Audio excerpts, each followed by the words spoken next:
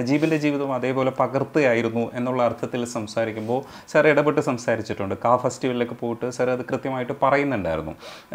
ഇതിനകത്തൊരു കാര്യം കൂടെ ഉള്ളത് ഈ നജീബിന്റെ കൃതിക്ക് മുമ്പ് തന്നെ അല്ലെങ്കിൽ നജീബിനെ കാണുന്നതിന് മുമ്പ് തന്നെ ഇത്തരത്തിലുള്ള ഒരു നോവൽ എഴുതാൻ വേണ്ടിയിട്ട് ആഗ്രഹിച്ചിരുന്നു. അപ്പോൾ സുഹൃത്തുക്കളോട് വീമ്പിളക്കി പറയുന്നുണ്ടായിരുന്നു ഒരാൾ മാത്രമുള്ള ഒരു നോവൽ ഞാൻ എഴുതും. അപ്പോൾ അതൊരു വല്ലാത്തൊരു കോയിൻസിഡൻസ് ആണ് ഒരു പക്ഷേ നജീബിനെ കണ്ടുമുട്ടാനുള്ള ഒരു കോയിൻസിഡൻസ് ആണ് ഞാൻ എപ്പോഴും പറയും ആടുജീവിതത്തിന് എപ്പോഴും അതിന്റെതായ ഒരു ഒരു നിയോഗത്തിന്റെ വിധിയുടെ വഴിയുണ്ട്.